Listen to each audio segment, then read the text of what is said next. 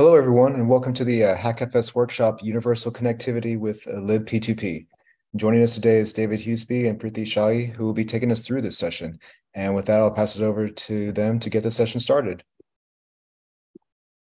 Hello, everybody. Welcome to the workshop for learning how to use libp2p. This is associated with the ETH Global HackFS um, hackathon. So before I dive into this, um, I wanted to say something about the purpose of this workshop and, and this presentation. I'm here really just to try to excite you about using libp2p in your projects for the hackathon and beyond.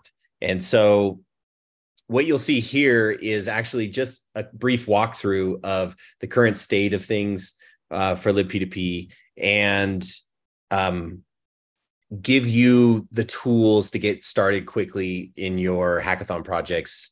Um, and then beyond the hackathon, have a great starting point for um, all of your your future work in and around libp2p. Um, and I also want to extend a very warm invitation to all of you to join the libp2p broader open source community um, after you're done with this hackathon um, because we're always looking for more people who have uh, other perspectives and interests in furthering libp2p and making it better. So, with that, welcome and thank you for showing up and giving us your attention. So, let's talk about what libp2p is, right? libp2p, as most of you already know, is a peer to peer networking library. It's based around a single specification and has multiple implementations in different languages. So, why all the different languages? There are two main reasons for this. One of them is that we want to have lib, lib P2P implementations in whichever language you are most comfortable working in. We want to be present in every working environment, uh, including browsers, servers, workstations, um, in applications written in Go and JavaScript, um, Rust, NIM, C++. There's even a Java implementation, right? Um, and I think uh, as of like a month ago, there's even a Zig implementation now. So um, the idea here is, regardless of your language, regardless of your uh, execution environment, we want to have a presence there for doing all of your libp2p needs. Um, the other reason is that with all of these different implementations, we avoid sort of the single uh, source of failure problem. If there's a bug that arises in one implementation, it is likely not present in the other implementations. And this allows uh, easily building heterogeneous peer-to-peer networks that are more resilient in nature simply because a single bug can't take down the entire network. So also inside of libp2p, there are a lot of low level features like encryption, authentication. Um, we're pretty famous for having good hole punching, getting through NATs and things like that. All of this is in service of being able to build peer to peer networks that are immune, largely immune to the chaos of the internet. It doesn't matter where your peer node is or how it's connected to the internet, it should be able to communicate effectively to all of the other peers in the network in in your network. Um, so in addition to all of that, we also add high level features like DHTs and, and gossiping, um, mostly for peer discovery and for um, doing global state synchronization. Basically, everything is in there in libp2p that you need, right? Uh, I threw this slide in here because this is how libp2p has always demonstrated what you know what options we have for connecting and all that kind of stuff. Um, this is a very boring slide, so we're not going to use that anymore. Um, what we you're going to do instead is demo connecting everything everywhere all at once. I think some of you get the reference to this movie, um, very popular last year. libp2p, we joke, uh, allows you to connect everything everywhere all at once. So to demonstrate that, the team at Protocol Labs and in the greater Protocol Labs network built this simple chat app because you know we all need another chat app. There's just not enough of them out there. But this is a very good and easy way to demonstrate uh, the basic functionality of libp2p and to demonstrate it working on multiple languages in multiple execution environments, as you'll see. This demo includes browsers and non-browsers public or private, and all using libp2p. Um, my current situation right now, I'm actually behind a NAT. So I'm presenting this from the NAT, and I'm in the clients I'm running locally here are all going to be NATed. Um, we are going to be talking to a server that's has a publicly routable IP address that's a bootstrap node. Um, but you'll see that this all works regardless of that network connection status. Um, we're going to start off with a Rust peer. It's currently running and uh, it has a really pronounceable name. I just call it Lujum.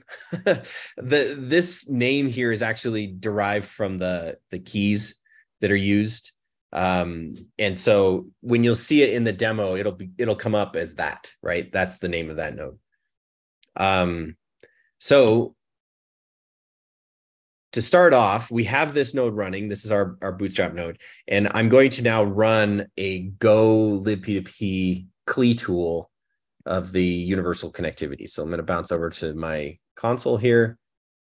And you can see here that I'm telling it, you know, I'm going to run the Go peer and I'm telling it to connect to Lujum, right? Here's Lujum's name right here at the end. And what we're going to see, hopefully, failed to connect to peer. Excellent. Live demo gods, please Please spare me. Prithvi, do you have any idea why I can't connect to Lujum? Is it running? Yes, I do. Let me make sure it's running. So go ahead and try again. Okay. There. Yes. We're up. Okay, cool. So you can see over here in the peer list, we're talking to MKWJ Lujum, right? And my node is listening on a, on several different uh, transports and you can see here that i'm actually natted right? So this is my local um, my local ip on my home network. Um, this really doesn't matter because we have ways of getting around it. Oh and look we're hacked already. Hello. Okay so this here is a go uh, tool of the universal connectivity app.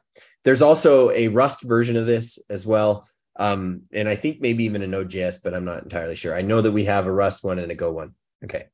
So this is all working. So let's get back to the slides. And to further build this network to show how versatile this is, we're going to load up a browser application version of the Universal Connectivity app. And it's written using JS libp2p. So I'm going to skip over to Chrome. And I'm using Chrome because we tested this earlier on Firefox. I think there's still an outstanding bug in Firefox, but we did confirm that it works in in uh, Chrome. So let me load this up. This is actually running on a local web server here on my on my system, and it's trying to connect uh, uh, behind the screen behind the scenes. And you can see here it did connect to Lujum. And let's see what else does it have several others. So AYJJSFFR, that is our Go libp2p client that I was just running. And it looks like we've got several others already jumping into the network. So if we go over to chat, all right, everybody in the network, say hello. Hello. If you're hacking our network, go ahead and say hello. Well, that's from the main Rust peer. Nobody else, huh? There you go. BY9N says hello. That's cool. So if we jump over to the Go client, see we've got more hellos. Hacking libp2p, more hellos. Welcome everybody. Welcome, welcome. Okay. So now this allows me to skip ahead a little bit on the slide. So I could have started up another um, browser, which we can do right now. Actually, we'll just do that. Start up another browser instance. Um, and this should connect to Lujum, right? Which it did. And then it should also establish connections to all of the other nodes that it can see in the network, including the browser one, the other browser. And if we go over to the other browser, we can see it's connect. It's uh, this R5AC, so if we get back to the second one, here, go back to the second one, uh, there it is, R5AC. So now we have browser to browser connectivity um, using libp2p. So if we go into chat here, Yay. Browser, browser. All right, back to the slides. So what we've demonstrated so far is our Rust libp2p server, Lujum, right? And then I started the Go client in the command line, and I've established two browser instances that are also connected, and they are all connected to each other.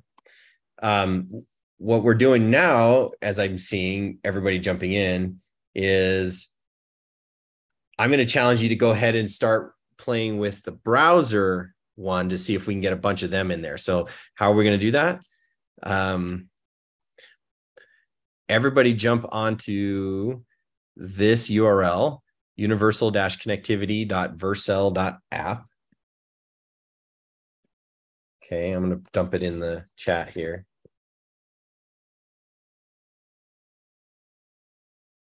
Vercel.app. That should get you a version of the universal connectivity app in your browser. So let's see if we can do that over here. Um, yep. And this one should also join as well. There it is, connected to Lujum. Great. Now, if everybody else is doing it, we should start seeing a whole bunch of peers jump in here. Then we are. Look at these, all these P2P circuits over WebRTC Direct. And if we go over to the Golib PP one, we can see our list of peers here. Excellent. This it's growing. this is our stress test. Cool. I uh Okay. So the live demo gods have shined favorably upon us. Look at everybody. Cool. Welcome, everybody. All right. That's basically it for the demo. I just wanted to demo that we can do this in all different environments, different uh, languages. And um, here is the link to the Universal Connectivity app that you can get from GitHub. Now, if you don't know where to start and you're fairly new to libp2p in this hackathon, I highly recommend you clone this repo and take a look at it. Um, the it, it's just a basic getting it configured in whatever language. It's a mono repo. Sorry, let me start over. It's a mono repo. So the implementations for Rust, Go, and JSLibp2p are all in there. Um, and shows you how to use it in the browser, shows you how to use it uh, from Rustland and also from Go in the command line. So this is probably going to be your fastest way to get going on this ha- uh, hackathon, and um, it's what we're all most familiar with, all the the mentors and stuff. So if you don't know where to start, start here. If you already started, that doesn't matter. You're okay. You might still learn something from this. And um, so it's a good resource. The connectivity.libp2p.io is a great website. It talks about all the different um, transports and and features and things like that. And in many cases, there's links to the specification if you have any questions. And then if you want to dig dive deep into the specs, um, there's a GitHub for specs. Uh, let me get all the way back to the beginning here because I wanted to point out one last thing. This was built by a huge team of uh, people in the libp2p community.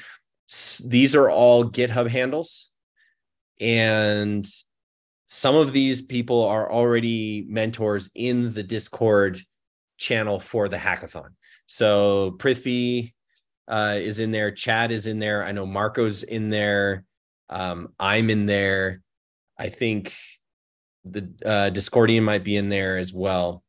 Um, so feel free to reach out to us, any of us um, with questions. We're kind of hovering in the Discord. So if you get stuck on anything or have questions specifically about this to get going, um, yeah, let us know in the Discord. And now I'm going to open it up because we uh, let's see how much time do we have? Just a couple minutes.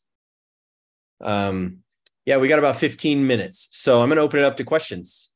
Um, you can ask in the chat and I'll read them, or if you're brave enough, feel free to. I think you can turn your video, your audio on, and ask the questions if you're in Zoom. I know this is being streamed out onto YouTube and being recorded on Zoom. Just so everybody knows. Let's see here. Do we have any questions?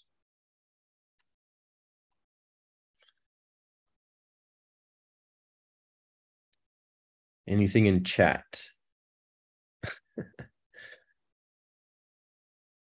None. Well, I mean, if we don't have any questions, Prithvi David, and I I've got a-. I've got a, maybe a question that some people might help or might want to know, like, uh, what are you, what are y'all looking for in terms of, uh, uh, project ideas or projects that you'd like to see, uh, built on top of libp2p? That's a fantastic question. Um, we had a couple ideation sessions uh, last week um, to look at, you know, to talk about uh, ideas and, and team formation. Um, I have my ideas, and I know that Prithvi may have some, or Discordian may have some as well. Anybody else have any ideas? I feel feel free to jump in. For me personally, I think something that would be really good uh, to work on is browser based tools that work with Web3 technologies. I mean, this is part of a broader Filecoin and FVM hackathon. So if you can make a browser based tool that interacts with that, that would be amazing. There's a lot of work that needs to be done there and be fun to fun to play around with that. Um, I know that there is one project that is by Doug Anderson that is toying around with implementing protocols in WASM and running a WASM VM on top of libp2p. So that one might be really cool. Uh, you could talk to Doug. I think he's in the disc in the Discord right now if he needs any help. Um, let me offer anybody else who has a team that's looking for help. Do they want to speak up and pitch their idea here? That's another thing we can spend the time doing, or put it in chat if you don't want to say it out loud. Um, because this is really about making this hackathon as successful as possible. And there was a question in the, uh, in the chat as well. Yeah, I had looked into Gun before this. Can you compare and contrast the projects some so I can better grok? I'm honestly unfamiliar with Gun. Prithvi, do you know anything about Gun or anybody else in here? Uh, I can't say I'm familiar with Gun. I would love to know what it Gun DB. Okay, so is it some sort of distributed uh, database? Um, you know, for libp2p, you know, we normally, uh, you know, what we like to refer to it as like a toolkit um, that allows you to you know, build the decentralized peer-to-peer networking layer of your application. Um, and so without knowing too much about gun you know i, I can't really contrast it that much um so it looks like dave is showing the screen Yeah, it's okay. I know nothing about Gun, but I mean, if you read this here, it looks like it's a set of tools, community run encrypted applications like open source Firebase or decentralized Dropbox. So it must have some P2P states. Yeah, okay. Um, it sounds to me like you could implement this using libp2p and IPFS, to be honest. Um, I don't know exactly how much they have in way of like hole punching or multiple language implementations or support for different execution environments, but um, but yeah, it looks. I, I I can't compare and contrast. I think what Prithvi was saying is is very important though. Like libp2p is a is a toolbox of lots of peer-to-peer uh, capabilities. Um, looks like you could replicate anything that's in here with with uh, libp2p. This looks like it's all written in JavaScript and TypeScript. So this may actually limit it to Node and or in the browser, um, which would be one of the notable differences between libp2p and Gun. Cool. Right. Thank you, Carl. libp2p is um, you know a language agnostic support in multiple implementation languages and basically helping you get the networking part of your application up and running and so what the universal connectivity app that dave just showed is trying to uh, demonstrate is that across languages like Rust and Go and JavaScript, we have wide variety of support for different transport protocols, be they your bread and butter transfer protocols like TCP and QUIC, or you know the browser-based transfer protocols that allow you to achieve um, connectivity from the browser to the server using know, WebRTC or Web Transport um, or even WebSocket that's been around for so long. And so ultimately, we want to enable you guys to build a class of applications that, whether they be browser based or you know running just on a server or a laptop or something, you know, libp2p can help bridge that networking uh, part of the part of the problem for you. Um, so that's that's our ultimate goal. Is like our vision is that we want to be able to connect the browser world to the server world um, in a language agnostic way, something that's really uh, a good foundation to build on. And so, like Dave mentioned, you know, highly recommend you guys to to clone the universal connectivity repo if that's something that you're looking uh, to get in uh, get get a start on. I know like some folks on the Discord, like Dr. Hongo and uh, uh Jose KP, have also started using the connectivity app. So please jump in there. Happy to answer your questions. something that just occurred to me that I've said in previous meetings and before we had this presentation um, for some ideas, things to do with libp2p. Um, I highly encourage that you try to do something around, you know, the Filecoin virtual machine and Filecoin network, um, or even IPFS. But if you have interest else, elsewhere, one of the things I've wanted to do with libp2p is to take some existing popular tools like um, Secure Scuttlebutt or Nostr and rip out their networking library and replace it with libp2p. So that something like Nostr is much more instead of doing its its normal relay store and forward kind of thing it's much more of a real-time peer-to-peer network. Um, or at least you know you can run a server that can that is easier to connect to for doing the relaying. Um, something like secure scuttlebutt could benefit from this as well because um, imagine if you had a secure scuttlebutt client and you were sharing files on your feed and those files were stored on ipfs for instance right? So you could combine libp2p and ipfs to recreate it and probably have a better user experience.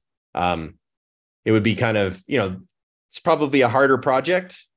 Maybe not something you could get done in three weeks but um, some of the smaller tools you know have pretty straightforward networking and would be good candidates to put libp2p in it'd be kind of cool to do um i don't know like a version of curl that uses libpp i don't know something like that. So if you if you're short on ideas and you don't have a team here you don't see a team here that's exciting and you want to join and you want to do something on your own you know take an open source browser based game or take um, any one of these social media apps and and try your hand at replacing the networking layer with uh, libp2p but like I said, focus. I think your first bet would be to, and the one that'll get you the most uh, people available to help you would be anything related to Filecoin, the Filecoin virtual machine, anything with uh, IPFS, that kind of stuff. So, um, looks like we've got six more minutes.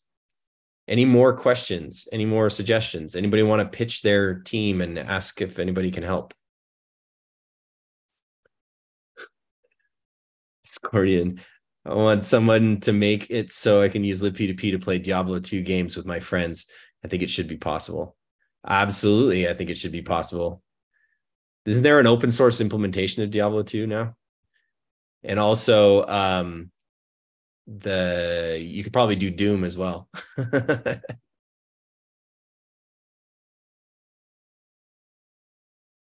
oh, maybe it's a Diablo 1 implementation. Yeah, sure. And Doom would be fun peer-to-peer doom over libp2p that would be fun.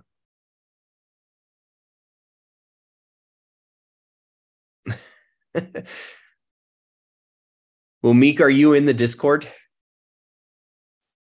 Great. So feel free to ask questions. We, we have a bunch of mentors hanging out in there um, and yeah uh, well i guess i'm concerned. You said you barely understand anything so i'd, I'd love to get to the heart of that um, if things uh, could be elaborated on a little bit more, Meek, um, you know, do let us know either right now or in Discord. Well, we have five minutes left. I'm going to take a poll. So, how many of you are associated with a project? Are you doing something individually or are you part of a group?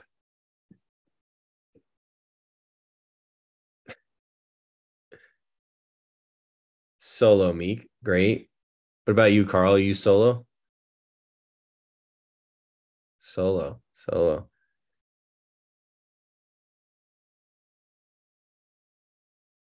Cool. okay, so a lot of solo people. Does everybody know what they're doing? It sounds like uh Stefan or Stephanie, I guess. Like it says you have no clue what to do. I'm not sure how you pronounce your name. Is it Stephanie or Stefan? Stefan. My apologies. Thank you. Um like I said, if you don't have any ideas on what to do, start with the universal connectivity app. Maybe add in uh, the ability to send a file or add features to universal connectivity.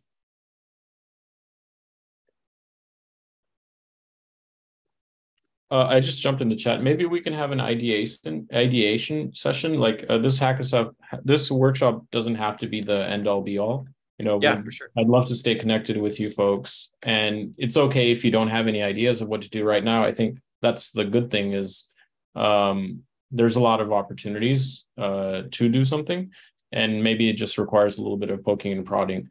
So I would say you know, somebody asked about office hours. Uh, ha- definitely happy to meet up with uh, people uh, in in office hours. I can post my availability on Discord, but uh, I, I, would love to you know continue chatting with folks and help people get a better idea of like what they can build.